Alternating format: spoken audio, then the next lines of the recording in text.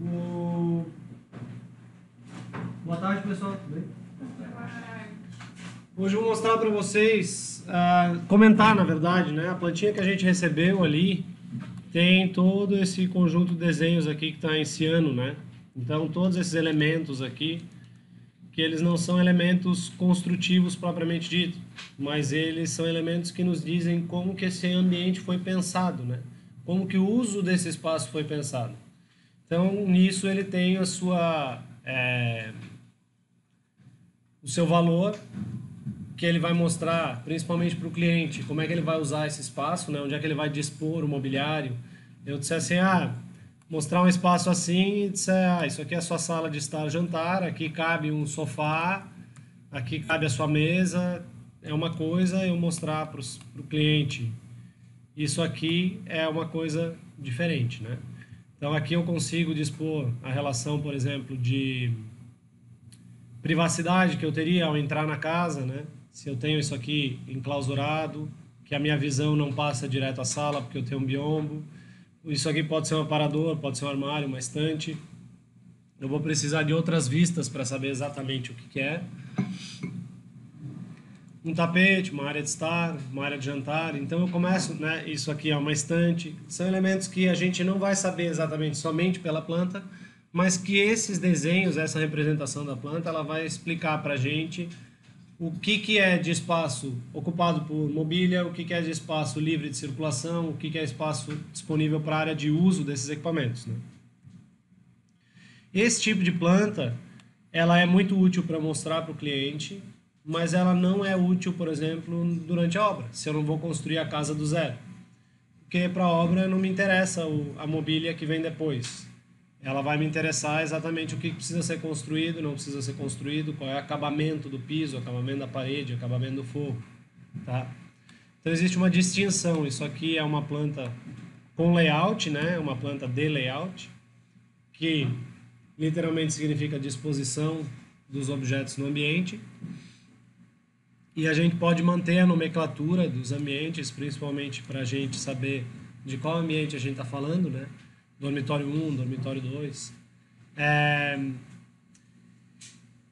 E a gente tem a nossa planta de obra, né? a nossa planta cotada, que aí sim vai trazer as informações necessárias para a gente poder edificar isso aqui. Né? Então, qual é o tamanho das aberturas? Qual é o comprimento das paredes?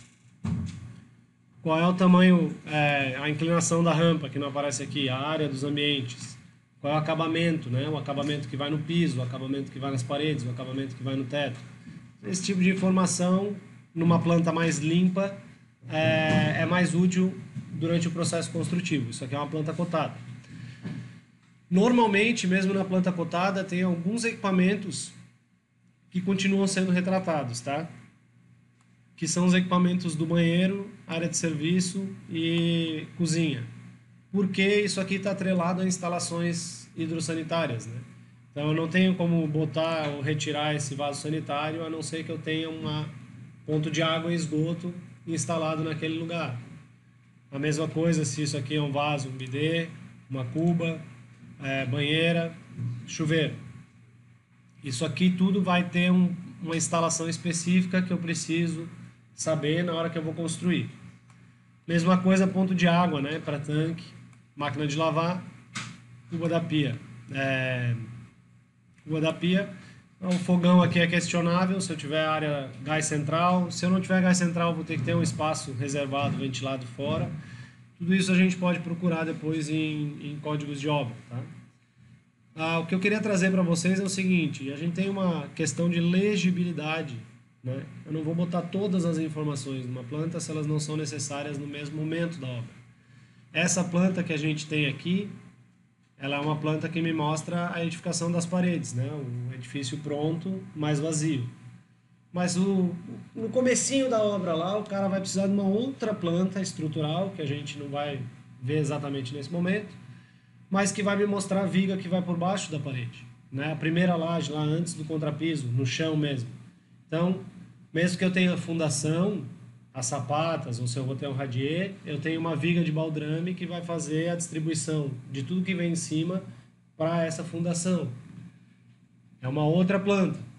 Então, eu não vou incluir aquela informação nesta. Não vou incluir aquela informação nesta planta aqui e não vou incluir a informação desta planta naquela na planta de da, das vigas de fundação, tá? E a mesma coisa acontece com o layout. Eu posso ter essas duas plantas aqui, mas geralmente eu, quando eu começo a passar essas cotas aqui, ó, eu começo a ou sujar esse desenho e dificultar a legibilidade dele, ou esses elementos vão dificultar a legibilidade das cotas, da explicitação de qual é a área desse espaço. É, o acabamento do piso, do forro, da parede, ok? Tudo bem. Tudo isso para dizer o seguinte, tá? Então tem que fazer duas plantas e aí eu preciso ficar trabalhando com isso direto, separado. Aí se eu faço uma mudança, eu vou precisar corrigir essa mudança na outra planta e na outra planta. É, isso dificulta. Então, a gente não precisa necessariamente, embora a gente produza plantas diferentes, a gente vai utilizar as nossas camadas aqui para colocar os equipamentos ou retirar eles, tá? Então, embora eu tenha separado aqui para poder explicar isso para vocês, na prática o que a gente vai fazer é isso aqui, ó. Eu tenho tudo numa única planta, todas as cotas, os textos, áreas, todos os equipamentos, e aí eu posso entrar aqui nos meus layers e eu vou dizer assim, ó, é, por exemplo, layout, ele não vai mais ser visível. Eu vou desligar a camada. E aí ele oculta. Ah, mas ficou toda a textura de piso ali tirada. Eu posso procurar a achura de piso aqui, ó. E desligar também. Então eu imprimo, ó, essa cama aqui está na camada errada, tá? Tá na camada layout, mas é a gente já vai conversar a respeito desses blocos aqui.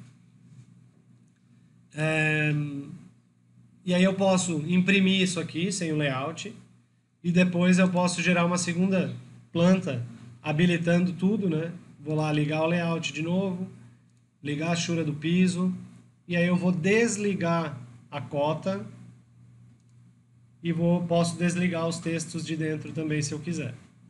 Se ligar e desligar, aconteceu algum erro na minha achura aqui, mas tudo bem.